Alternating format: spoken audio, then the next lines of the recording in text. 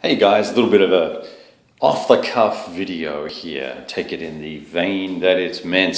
So, uh, I'm in a pay it forward group and I just got super lucky. I, this guy had put up Case Blue and DAK 2. What are the odds of that happening? It's amazing.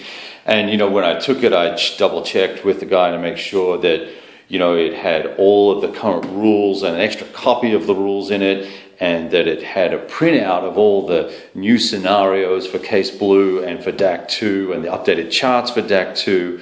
Uh, the errata, and that I double cross checked to make sure that it didn't have any of the extra other things in it from any of the other games in the OCS series because I wanted to be exactly like my other copies that I have. And, and, you know, and I beat everybody to the punch on it as well. It's awesome. So here's what I'm going to offer up in exchange for my, uh, and I didn't even have to pay shipping, which is the greatest thing, right? I didn't have to pay any shipping anywhere.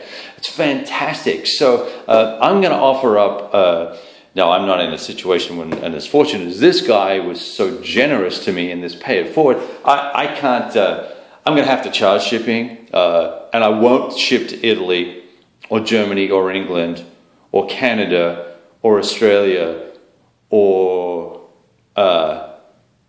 you know, places that are difficult. I'm not going to do that. I mean, no, I, and, I know it's only been 12 days since I got these games, but Anyway, here's my offering. I'm sending this. What I'm going to do is I'm going to going to make sure that it's in really good shape before I send it to you. There you go. And uh, there's my pay it forward, man. All right, now I got my. There it is. I'm going to ship this.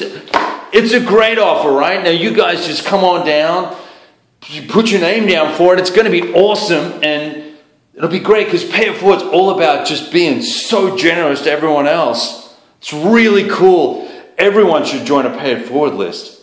Really.